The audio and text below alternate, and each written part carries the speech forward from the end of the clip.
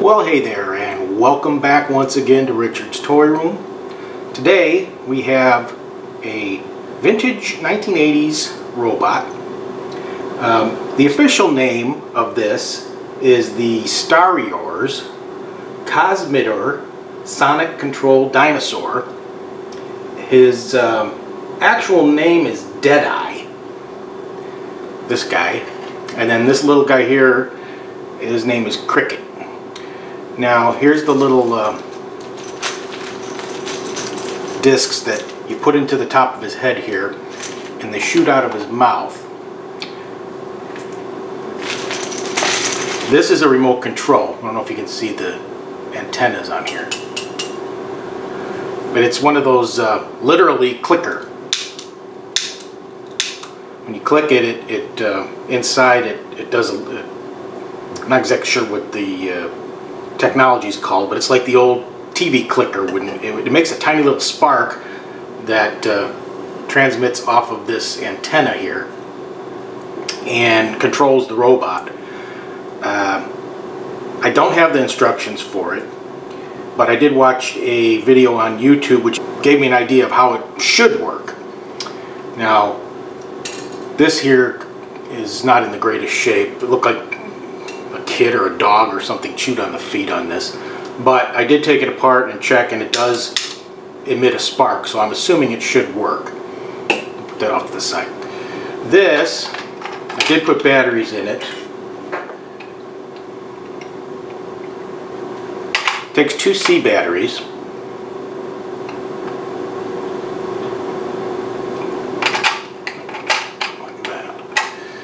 And then that's on, but as you can see it does nothing. So I'm certain that, which is common in all these older toys with little motors in them, it's probably just the motor seized up. So what we're going to have to do is take this apart and see if we can fix it. And basically that is what this video is all about. Um, as you can see, I'll show you here on the iPad. This is what he's supposed to look like complete. As you can see, he's missing his arms and he's missing some guns that go on uh, his head here and or not his head but his uh, body and on his legs here I think that's all that's missing from him though um, he still looks kind of neat and he's in really good shape so I'm assuming that I can get this guy to work so anyway it shouldn't be too hard because it is all screws I don't think anything is sonic welded or glued. Just a matter if we can get him apart or not. I'm thinking this gray part here will come out without having to take the whole body apart, but I'm not sure about that.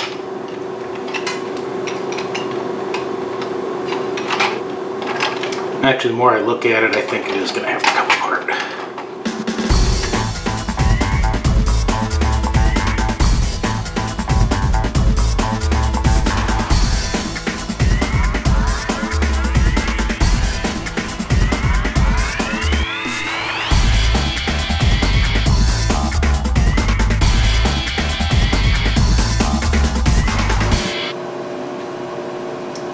Okay, well, I don't think you missed anything. I uh, was lazy and I didn't want to look up how to clear the memory on this camera and it uh, kind of made that decision for me. So I went and took the opportunity to get a screwdriver that would break free this one screw that was giving us some problem earlier in the video. That's out now. So anyway, I also peeled back one of these stickers on the side here and there is no screw under there so not 100% sure how those come off. They may just be pressed on but we will uh, see how much we can get apart here without burning around with those. So let's see what we got now. I think I've got almost all the screws out. Only thing, oh, there's one there, I see.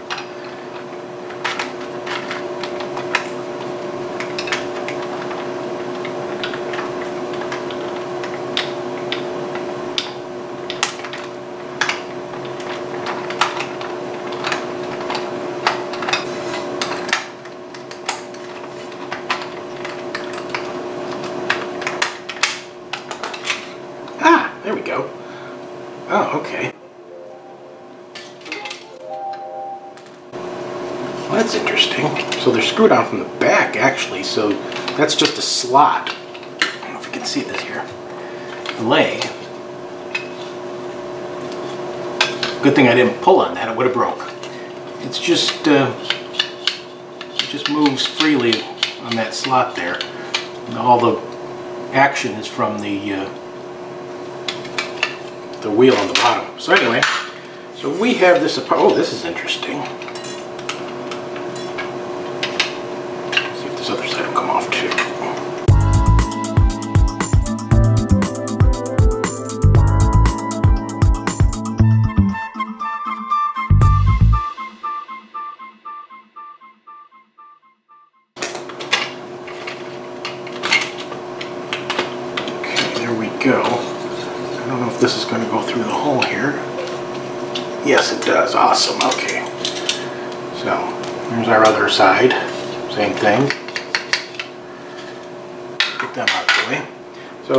She looks like, or he looks like, with nothing else in it.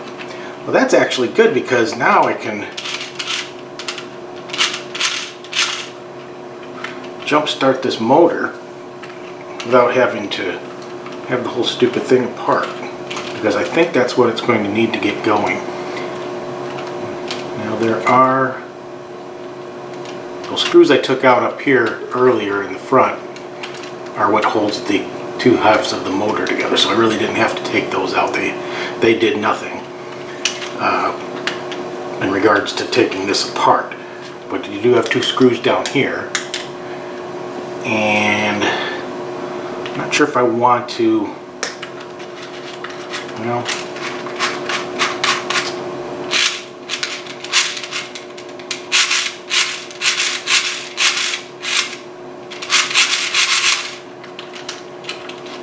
I don't know how many gears and things are in here. As you can see, there's also a uh, circuit board in here. Oops. So that's always a possibility that something on there has gone bad. I don't have anything to really test those capacitors and resist. Well, I can test the resistors, but um, it would take a lot of uh, research. You're gonna have to look up the color codes and all that garbage. Um, capacitors wouldn't be a big deal to replace if I needed to. I mean, I guess I could take a look and make sure there's no bad solder joints or something on it. There's a screw holding it in right here. But before we do that, we will uh, actually assume that it's just the electric motor in this thing that's screwed up and not the circuit board. And uh, sometimes uh, all you got to do is kind of give them a jump start because they've been sitting for so long. So let's put the batteries back in and see if we can get this to respond. I believe this was on.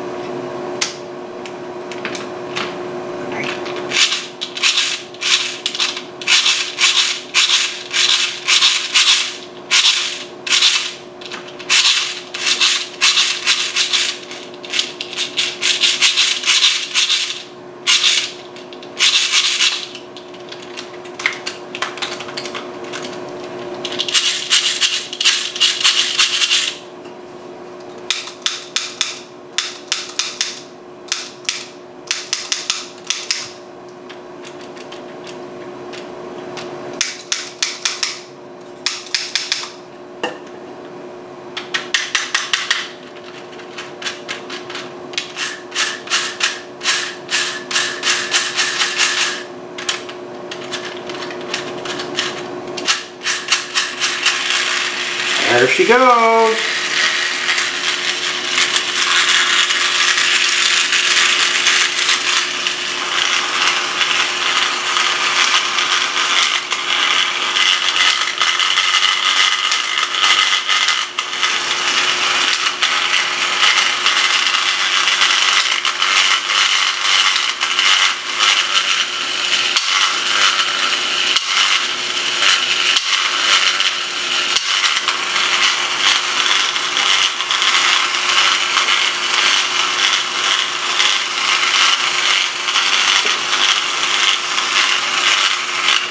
Okay, need some oil.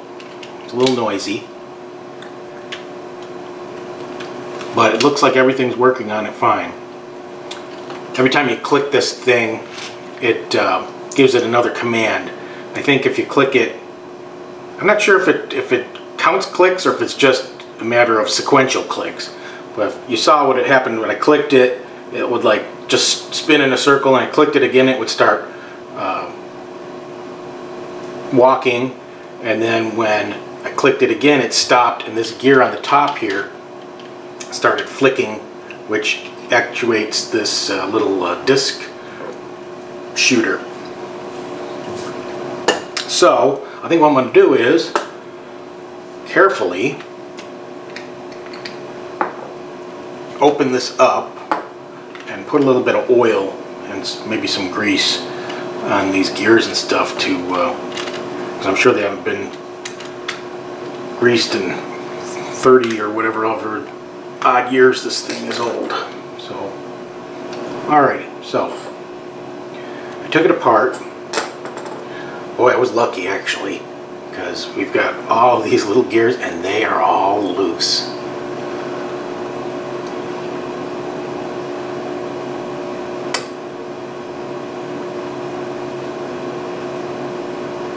So I'll just put a drop of oil on these axles in here. And that should be fine. And the other problem that we I found though, you won't be able to see this on camera. The motor, of course, the main drive of the whole thing, this gear is actually cracked. So I am going to put some super glue on it.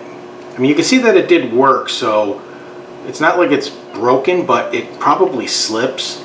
So if I put some super glue in the crack, let it dry, and then maybe put a little bit on the top there, maybe to just to, or the top and the bottom, keep it from moving, I think we'll be fine. But we will put a um, little bit of oil on the rest of this stuff and in the motor here, and um, that should uh, should be sufficient at that point because everything else works. So I like to use this stuff here.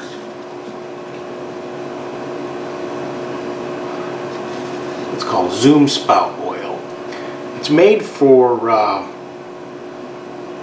like air conditioning compressors and stuff like that. At least that's what I was under the impression of. But it's good for um, all kinds of bearings and motors and I use it on uh, radios and uh, record players that I, I repair and pretty much anything that needs a sewing machine type oil or a 3-in-1 type oil but this stuff is better because it doesn't get all gummy. You can get it at Walmart. I got this at Ace Hardware because I didn't know they had it at Walmart which obviously would have been cheaper. But anyway, so I'm going to put drop of that on the uh, whatever you call it, bearing shaft or something on this motor. It always it always quiets them down.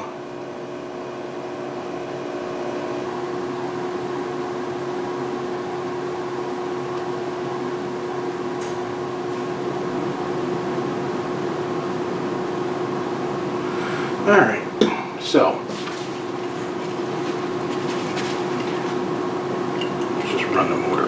here, put the batteries back in. Before we put it all back together, plus I'm going to have to let that super glue dry when I don't want to run it with the super glue wet. There we go. Pretty quiet. Of course, what you were hearing before was the gears all moving. And like I said, I will uh, put a little bit of oil on those. It looks like it's going to work well. So, I won't bore you with all the details of putting it back together and oiling up the gears. Okay, as you can see, we're all back together.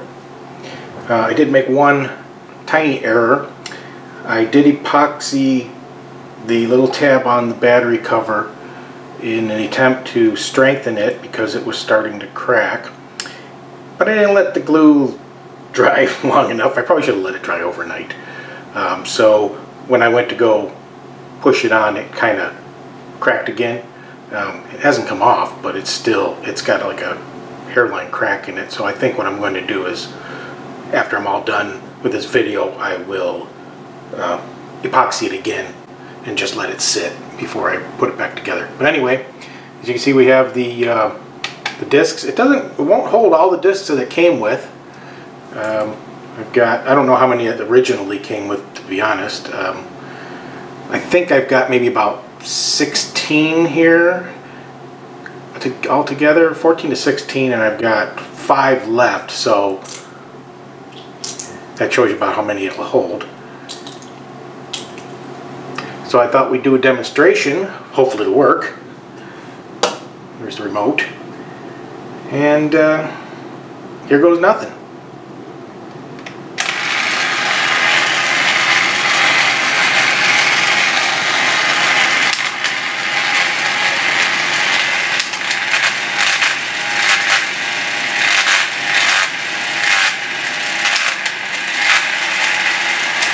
Whoa! Holy crap! We shoot pretty far.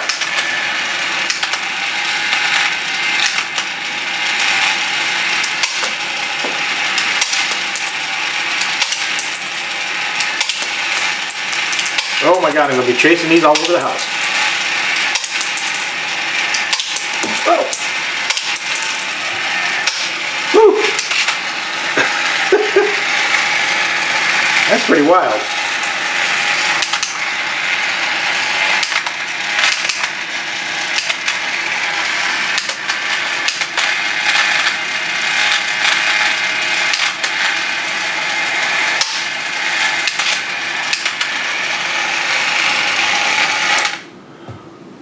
Okay, now we gotta figure out where all these little discs went.